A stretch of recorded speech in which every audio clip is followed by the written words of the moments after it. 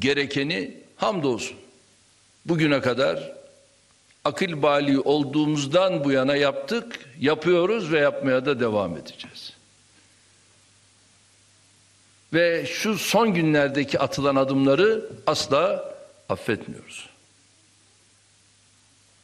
Şimdi de işte biz kitabımız Kitabul Furkan'dan aldığımız heyecanla, aşkla görüyorsunuz şu anda Afrin'e yürüyoruz. Cerablus'u öyle yürüdük.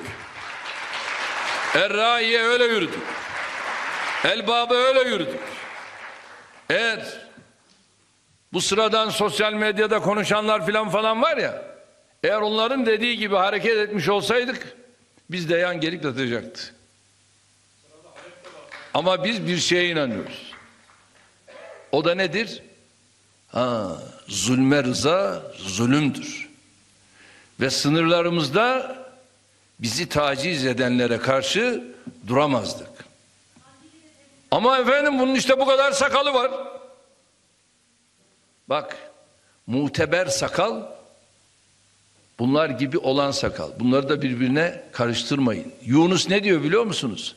Dervişlik olaydı tac ile hırka, biz dahi alırdık otuza kırka.